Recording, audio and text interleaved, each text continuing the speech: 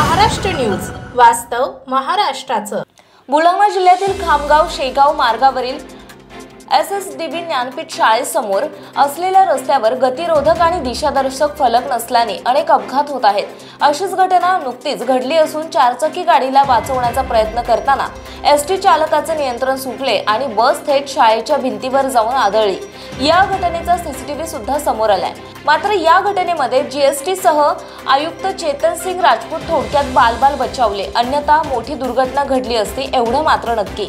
खामगाव येथील जीएसटी सह आयुक्त चेतन सिंग राजपूत हे आपल्या मुलांना आणण्यासाठी त्यांच्या गाडीने खामगाव शेगाव मार्गावरील S S D B Dnyanpeeth या शाळेत जात असताना अचानक भरधाव वेगाने येणारी एस टी बस अंगावर येता येता राहिली आणि शाळेच्या भिंतीला जाऊन धडकली असल्याचा आरोप जीएसटी सहायुक्त राजपूत यांनी केलाय.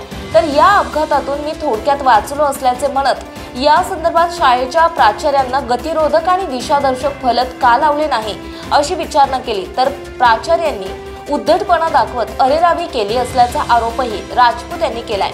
मी या ठिकाणी एक पालक म्हणून बोलत आहे. माझे पाल्य S S D V school Khamgaon या ठिकाणी शिक्षण घेत असून सदर शाळेबाहेर स्पीड ब्रेकर आणि शाळेचा फलक देखील नसल्यामुळे शाळेबाहेरून वाहने अमर्याद वेगाने जातात.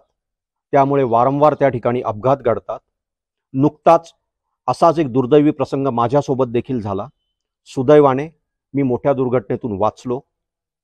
मात्र त्यावेळी माझ्या कारऐवजी जर मुलांची स्कूलबस त्या ठिकाणी असती तर काय अनर्थ घडला असता हे बोलण्याचं देखील साहस केलं जात नाही. बाहेर स्पीड ब्रेकर किंवा शाळेचा फलक का नाही या बाबतीत विचारणा केली असता सदर शाळेचा प्राचार्य डेंटिस हा मद्यधुंद अवस्थेत पालकांशी अत्यंत अरेरावीने वागतो. अशा सर्व अपघातांना जबाबदार असलेला सदर प्राचार्य डेंटिस विरुद्ध तातडीने प्रशासकीय तसेच फौजदारी कारवाई होणे अत्यावश्यक आहे. अशा निष्काळजीपणा आणि पालकांशी अरिरावी करणाऱ्या प्राचार्य ॲडमन डेंटिसवर कठोर कारवाई करावी अशी मागणी सुद्धा त्यांनी केली आहे. तर पत्रकारांनी सुद्धा त्यांना प्रतिक्रिया जाणून घेण्याचा प्रयत्न केला असता कॅमेऱ्यासमोर बोलण्यास नकार दिला. मात्र आपण सार्वजनिक बांधकाम विभागाला या संदर्भात पत्र दिल्याचे प्राचार्य सांगतात तर या निष्काळजीपणाला कोण जबाबदार असा प्रश्न पडल्याशिवाय राहणार नाही. तर मिळालेल्या माहितीनुसार प्राचार्य ॲडमन डेंटिस यांच्यावर खामगाव पोलिसांमध्ये गुन्हा सुद्धा दाखल करण्यात आलाय.